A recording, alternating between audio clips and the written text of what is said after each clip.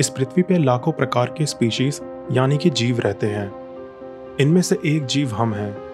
हम हैं होमोसेपियंस हम इस पृथ्वी के बाकी जीवों से कुछ अलग हैं। हमारे पास प्रॉब्लम सॉल्विंग स्किल्स है। हमारे पास सोचने की ताकत है। इंसानों की इन्हीं काबिलियत के कारण हमने रहने के लिए बड़े बड़े शहर बना लिए हैं और एक दूसरे से हमेशा कनेक्टेड रहने के लिए छोटे छोटे डिवाइसेस बना लिए हैं। इंटरनेट से पूरी पृथ्वी को जोड़ दिया है। और दूसरे प्लैनेट्स तक पहुँचने के लिए स्पेसशिप्स और रॉकेट्स बना लिए हैं। इस वीडियो में मैं टेक्नोलॉजी के बारे में नहीं, बल्कि हमारी हिस्ट्री के बारे में बात करूँगा। ये वीडियो योवल नोआ हरारी की famous book Sapiens a brief history of humankind और डिफरेंट रिसोर्सेज पर बेस्ड है। डिस्क्रिप्शन में आप इस बुक का लिंक चेकआउट कर सकते हैं। अगर मैं आपसे पूछूँ कि आपके अनुसार ह्यूमन हिस्ट्री कितनी पुरानी होगी तो कुछ लोगों को हमारी हिस्ट्री हज़ार, दो हज़ार या फिर दस हज़ार साल लगती होगी। इस क्वेश्चन का आंसर आपके पिछड़े बिलीफ सिस्टम पर निर्भर कर सकता है। हमारे पास पास्ट में हुई चीज़ों को जानने के लिए आज कोई टाइम मशीन नहीं है, लेकिन हमारे पास कुछ ऐसी टेक्निक्स हैं, जिससे हम धरती पर मौजूद एविडेंसेस के आधार पर पास्ट में हुए इंसिडेंट्स के बारे में जान सकते हैं। इंडिपेंडेंट आर्कियोलॉजिकल सर्वे से आर्कियोलॉजिस्ट डेटा कलेक्ट करके उन पर एनालिसिस करते हैं, और फिर उन डेटा को इंटरप्रेट करके पास्ट में हुए इवेंट्स को इंटरप्रेट करते हैं। हमारी हिस्ट्री धरती पे मौजूद इन्हीं फैक्ट्स और एविडेंसेस पे बेस्ड है। हर जीव में जेनेटिक म्यूटेशन होता है।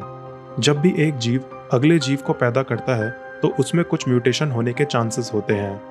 क्योंकि नेचर भी परफेक्ट नहीं होती। एक सेल डिवीज़न हमेशा परफेक्ट नहीं होता। नए सेल्स बनते वक्त कुछ एरर्स आ सकती हैं। जब एक वायरस शरीर में जाके मल्टीप्लाई होना चालू होता है तो कुछ ही घंटों में उसकी सैकड़ों कॉपीज बन जाती हैं। हर एक कॉपी सेम ही होती है, लेकिन कुछ कॉपीज के बनते समय कुछ डिफेक्ट्स आ जाते हैं और वो बाकी वायरसेस से कुछ अलग हो जाता है। इन्हें हम म्यूटेशन कहते हैं। हमारी हिस्ट्री की शुरुआत होती है 60 लाख साल पहले, जब एक प्रकार की वानर प्रजाति रहती थी। ये वानर प्रजाति धरती पे कैसे आई थी, इसकी अलग कहानी है, जो मैं फिर कभी आने वाली वीडियोस में बताऊँगा। इस एप स्पीशीज में दो बेटियों का जन्म हुआ, जिसमें से एक चिंपांजीज की पूर्वज बनी और दूसरी हमारी पूर्वज बनी। 60 लाख साल पहले हुए एक जेनेटिक म्यूटेशन के कारण ह्यूमन स्पीशीज की शुरुआत हुई। इन्हें ह्यूमन कहें या एप लेकिन एविडेंस है कि वो प्रजाति दो पैरों पर खड़ी हो सकती थी। 35 लाख साल बाद धीरे धीरे वो ह्यूमन स्पीशीज काफ़ी एडवांस होती गई। उन्होंने पत्थरों और लकड़ियों से औज़ार बनाने चालू कर दिए। इस ह्यूमन स्पीशीज को साइंटिफिक कम्युनिटी होमो हैबेलिस कहती है। उसके 10 लाख साल बाद होमो इरेक्टस अफ्रीका से निकल के यूरेशिया के रास्ते से धरती के अलग अलग हिस्सों में चले गए। जैसे कुछ लोग यूरेशिया में सेटल हो गए तो कुछ लोग आगे बढ़े और एशिया में सेटल हुए, या और आगे बढ़ के इंडोनेशिया तक पहुँच गए। अलग अलग एनवायरनमेंट में रहने के कारण ह्यूमंस की कई प्रजातियाँ बनी। जिस तरह आज डॉग्स की 35 प्रजातियाँ मौजूद हैं, जैसे कि लोमड़ी, सियार, गीदड़ एक्सेट्रा जो ह्यूमंस यूरेशिया तक पहुँचे, वो नियंडरथैल्स में इवॉल्व हुए। जो लोग एशिया तक पहुँचे वो डेनिसोवेंस में इवॉल्व हुए। उसी तरह ह्यूमंस की अब तक कई प्रजातियाँ रही हैं। हर प्रजाति एक दूसरे से अलग थी। कुछ काफ़ी ताकतवर होते थे तो कुछ ड्वाफ होते थे। हमें नहीं पता कि हमारी प्रजाति एग्जैक्टली कब बनी, मगर आज से तीन से डेढ़ लाख साल पहले होमोसेपियंस अफ्रीका के पूर्वी हिस्से में इवॉल्व हो चुके थे। इस समय पूरी दुनिया के अलग अलग हिस्सों में डिफरेंट ह्यूमन स्पीशीज ऑलरेडी रह रही थी। साइंटिस्ट मानते हैं कि आज से सत्तर हज़ार साल पहले, सेपियंस ईस्ट अफ्रीका से निकल के अरेबियन पेनिनसुला में फैले और कुछ ही सालों में यूरेशिया में जाने लगे। जब होमोसेपियंस यूरेशिया में गए तो वहाँ पहले से ही नियंडरथैल्स मौजूद थे। आज नियंडरथैल्स, होमो इरेक्टस या डेनिसोवेंस या कोई और ह्यूमन स्पीशीज क्यों मौजूद नहीं है? इसका आंसर हमें प्रॉपरली नहीं पता, मगर साइंटिस्ट ने कुछ थ्योरीज दी हैं। जैसे कि पचास हज़ार साल पहले सेपियंस दूसरे ह्यूमंस के साथ ओकेजनली इंटरब्रीड कर पाते थे। जेनेटिसिस्ट्स ने पाया कि मिडल ईस्ट और यूरोप में एक से चार परसेंट जीन नियंडरथैल्स का है। वहीं आज के मिलेनिशियंस लोगों का 6 परसेंट तक डीएनए डेनिसोवेंस के डीएनए से मैच करता है। भले ही हमारे डीएनए में दूसरे ह्यूमंस का कुछ हिस्सा हो, लेकिन हम सब हैं सेपियंस ही। फिर क्या हुआ दूसरे ह्यूमन स्पीशीज के साथ? भले ही आज हमने कितने रूल्स रेगुलेशन पुलिस और मिलिट्री बना ली हो, आज भी हम लोग अपने डिफरेंसेस जैसे कि लैंग्वेज कास्ट रिलीजन के बेसिस पे लड़ते रहते हैं। इस बात से हम अनुमान लगा सकते हैं कि डिफरेंट दिखने और कम मेंटल एबिलिटी वाले ह्यूमन के साथ सेपियंस ने क्या किया होगा। सेपियंस ने बाकी ह्यूमंस का नरसंहार करके एथनिक क्लिनजिंग कर डाली थी। 20 लाख साल तक इस धरती पर रहने के बाद, केवल पचास हज़ार साल पहले, दूसरी ह्यूमन प्रजातियाँ और मेगाफोना इस धरती से विलुप्त होने चालू हो गए। पचास हज़ार साल पहले होमोसोलेनेसिस खत्म हुए।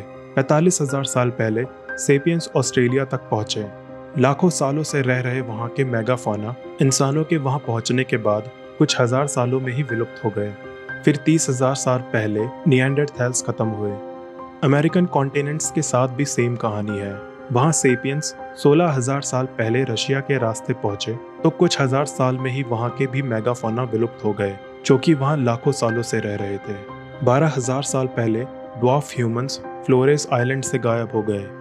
हज़ारों सालों की एथनिक क्लेंजिंग और हत्याओं के बाद रह गई तो बस उनकी अस्थियाँ, उनके औज़ार उपकरण और हमारे शरीर में उनके कुछ अंश। लाखों सालों से जंगलों में बड़े जानवरों से बच बच के रहने वाली सहमी हुई सी एक वानर प्रजाति के साथ क्या हुआ था सत्तर हज़ार साल पहले कि सेपियंस ने बाकी ह्यूमंस और मेगाफोना को मार डाला। ऐसा माना जाता है कि सत्तर हज़ार से तीस हज़ार साल पहले एक जेनेटिक म्यूटेशन के कारण हमारे मस्तिष्क की इंटरनल वायरिंग में कुछ ऐसे बदलाव हुए, जिससे हमने गहराई से सोचना और एक इम्प्रूव लैंग्वेज सिस्टम में बात करना चालू कर दिया। मात्र एक संयोग से हुई जेनेटिक म्यूटेशन से हमारे मस्तिष्क में हुए विकास के कारण हम इतने सक्षम बन पाए कि हमने इस दुनिया का वर्णन अपने शब्दों में करना चालू कर दिया। गॉसिप करने की हमारी आदत की वजह से हमारी लैंग्वेज कॉम्प्लेक्स होती गई। हमने न केवल फ़िज़िकल चीज़ों के बारे में बात करनी चालू की, बल्कि हमने काल्पनिक चीज़ों को भी डिस्क्राइब करना चालू कर दिया। केवल मानव ही ऐसी अनदेखी चीज़ें जिन्हें ना कभी देखा गया हो और ना कभी सुना गया हो, उसकी बातें करने लगा। लाखों सालों से हमारे पिछले एंसेस्टर्स जंगलों में ही रहा करते थे। जंगल में सरवाइव करने के लिए लोग बहुत ही छोटे छोटे ग्रुप्स में रहते थे। वो आपस में बहुत सी गॉसिप्स करते थे। ग्रुप के हर एक मेंबर के पास बहुत सी स्किल्स होती थी। वो अपने आसपास के एरिया को याद रखते थे। उनको याद रखना होता था कि कौन सी फल सब्ज़ी उनके लिए सही है और कौन सी जहरीली है। उनको पता होता था कि किस नदी में कब तक पानी आएगा। किस जगह शेरों का शिकार बढ़ गया है। आदि मानव न केवल अपने सराउंडिंग्स को समझते थे बल्कि अपनी आंतरिक क्षमताओं के भी जानकार थे। जरा सी हिलती घास या पेड़ के टूटने की आवाज़ से वो सतर्क हो जाते थे। वो मानवता की अधिकतम योग्यता से चलते, दौड़ते और शिकार किया करते थे। मात्र दस हज़ार साल पहले सेपियंस ने एग्रीकल्चर की खोज की और जानवरों को अपनी ज़रूरतों के लिए पालना चालू कर दिया। जिन मवेशियों ने विरोध किया, उनको मार दिया गया। जो मवेशी शांत रहे, उन्हें जीने दिया गया। जिन्होंने और शांत प्रजाति आगे बढ़ाई। खेती करने के कारण लोग एक साथ एक जगह पर रहने लगे। फिर सिटीज़ का निर्माण होने लगा। एम्पायर्स बनने लगे। बड़े बड़े राज्यों में हज़ारों लोग रहने लगे। कुछ लोग खेती करते थे तो कुछ लोग उन लोगों की सुरक्षा करते थे। तो कुछ लोग इस सोशल स्ट्रक्चर को चलाने के लिए इन सब पे राज करते थे। इस पूरी व्यवस्था को चलाने के लिए टैक्स सिस्टम की खोज हुई। मगर किसने कितना टैक्स भरा है, किस फैमिली की कितनी ज़मीन है, कितनी खेती हुई है, इन सब का हिसाब किताब लोग केवल अपने दिमाग में रखते थे। हज़ारों सालों तक लोग इतना सारा डेटा एक पीढ़ी से दूसरी पीढ़ी तक केवल बोलकर पहुंचाते रहे। 3500 से 3000 साल पहले मेसोपोटामिया के कुछ लोगों को एक नया आइडिया आया। उन्होंने इतना सारा डेटा अपने दिमाग से बाहर निकाल के क्ले के पत्थरों पर लिखना चालू कर दिया। यह है अब तक की सबसे पुरानी लिखावट। कुशिम सबसे पहला लिखा हुआ नाम है, जो शायद उस जमाने में कोई अकाउंटेंट होगा। क्योंकि लिखना बहुत ही कम लोगों को आता था स्टार्टिंग में बहुत ही इम्पोर्टेंट चीज़ें, जैसे कि राज्य का हिसाब किताब ही लिखा जाता था। सिर्फ़ हज़ार साल में ही 2500 बीसी तक, बहुत सारे सिंबल्स लैंग्वेजेस में ऐड होते गए। पीढ़ी दर पीढ़ी जो बातें आगे बढ़ रही थी, उनको किताबों में लिखा जाने लगा। लोगों ने नई कविताएँ हिस्ट्री बुक्स ड्रामा और कुक बुक्स लिखना चालू कर दिया। यह ज़माना वैसे ही रहा होगा, जैसा कि आज लोग टिकटॉक वीडियो और इंस्टाग्राम रील्स बना रहे हैं। लिखी हुई किताबें कई मीलों दूर पहुँचने लगी। अलग अलग रिलीजन्स बने, कुछ अपने आप फैले तो कुछ को फैलाया गया। केवल 500 साल पहले एक ऐसी क्रांति हुई जिसने इंसानों को अनेक सुपर पावर्स दे। दी 1543 में कोपरनिकस ने यूरोप में बताया कि कैसे सूरज धरती के चक्कर नहीं बल्कि धरती सूरज के चक्कर लगाती है। उसके बाद गैलीलियो ने टेलीस्कोप का आविष्कार किया, जिससे उन्होंने कोपरनिकस की थ्योरी का प्रमाण दिया। गैलीलियो के मोशन और मैकेनिक्स के अध्ययन से न्यूटन ने प्रकृति के नियमों की मैथमेटिकल इक्वेशंस दी। 18th सेंचुरी में कुछ अनोखे आविष्कार हुए। Steam engine, power loom, spinning jenny जैसी मशीन्स के कारण इंडस्ट्रियल रेवोल्यूशन आया, जिससे गुड्स का मास प्रोडक्शन होना चालू हो गया। मिड ट्वेंटी सेंचुरी में पहला इलेक्ट्रॉनिक कंप्यूटर बना। फिर कुछ ही सालों में इंटरनेट पे पूरी दुनिया कनेक्ट हो गई। इसी साल ओपन एआई ने चैट जीपीटी फोर लॉन्च कर दिया है। कुछ ही महीनों में एआई इतना पावरफुल हो गया है कि बहुत सी डिबेट्स चल रही हैं कि क्या एजीआई यानी आर्टिफिशियल जनरल इंटेलिजेंस हमारे बहुत करीब है। एआई एक रेवोल्यूशन है। कुछ ही समय में एजीआई दुनिया को इतनी तेज़ी से बदल देगा जितना अब तक किसी टेक्नोलॉजी ने नहीं बदला है।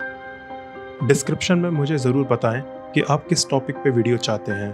अभी के लिए इस वीडियो में इतना ही। वीडियो को लाइक ज़रूर करें और चैनल को सब्सक्राइब करें। मिलते हैं अगली वीडियो में। Thank you